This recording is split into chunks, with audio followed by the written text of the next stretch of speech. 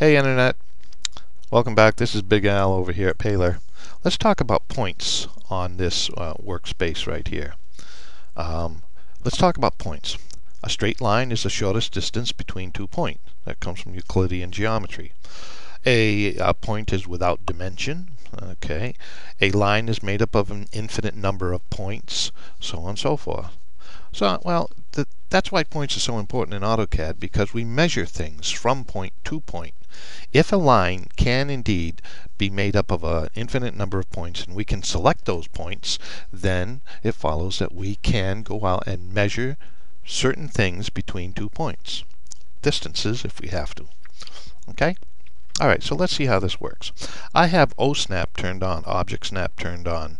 Okay, so I can um, sort of uh, lock on to something.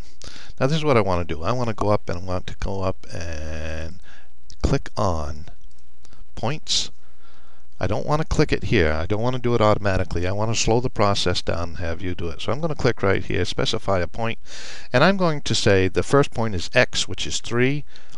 My second point will be in the y direction, will be uh, 5. So I'm going to go 3, comma, 5, enter. So that's 3 in the x, and 5 in the y. Well, where is that point? I don't see any point. Hmm, hmm, I don't see, ooh, what's this? Ah, what does that mean? It's a node.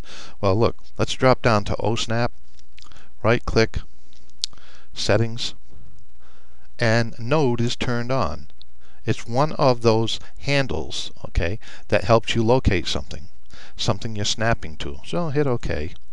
And so right there is a node. We can snap to it. But it doesn't give us any values. It tells us where it is spatially, but no real values. Well, let's turn on dynamics. Click.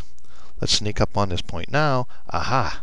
And you see the dynamics follows the x and y coordinates of your um, your crosshair. If that crosshair occupies the same spot, through the snap process as the point, then you can relate exactly where the point is. And as you can see from the sky blue uh, window to the right, the x value is 3 and the accompanying value is 5. So that point is at 3, 5, 3 comma 5. Okay? That's how all that works. Okay? So we're going to be working with the standard Cartesian plane, the coordinate plane, using the um, basic geometry of Euclid. Alrighty? Okay.